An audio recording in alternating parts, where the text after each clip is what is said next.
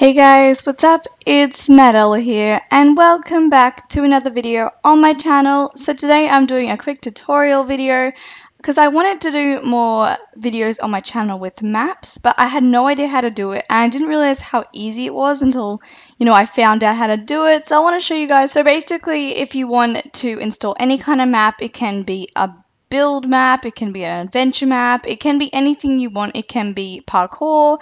So I want to install the 30 ways to die map, so this is a video that I'm probably going to be recording in the future. So all you have to do is click download map. There's I'll leave the link in the description if you want this map. And it is completely safe and it will just start downloading in your in your downloads bar.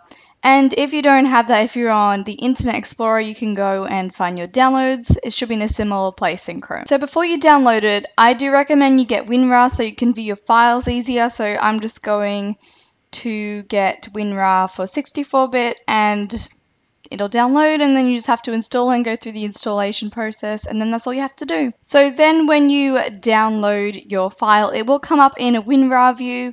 So all you have to do is just install this like you would for any program. But so it'll come up so you can view your files more easier. Then all you have to do is drag the folder 30 ways to die, the map, onto your desktop. Now what you want to do is you want to go into your Minecraft launcher and this map is for 1.8. So I've got my 1.8 on. And then what you want to do is go into edit profile and then you want to make sure you're on the right version for your map and you want to click this. As soon as you've opened this, it will come up to the app data, roaming, and what you want to click then is Minecraft. So it should come up with Minecraft. Then what you want to do is you want to go to your saves folder, which is here for me, and this will be where all you have all your games. So now what you want to do to install the map is to create a new save. And the way you do that is by dragging in your map into the folders.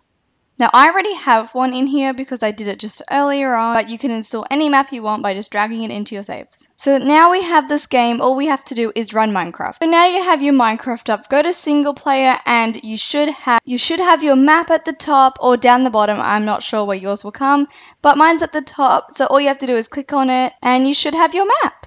And that's all you have to do. That's it's really easy. I feel a bit stupid because I didn't know how to do this for so long and it's so simple. So I hope you guys all learnt something from this video and you now know how to install maps yourself. Also, I will be doing a video on my channel of this mini map. So I hope you enjoy that. But so I hope you all now how to know how to install maps. I'm sorry for the lack of uploads and the quality of uploads.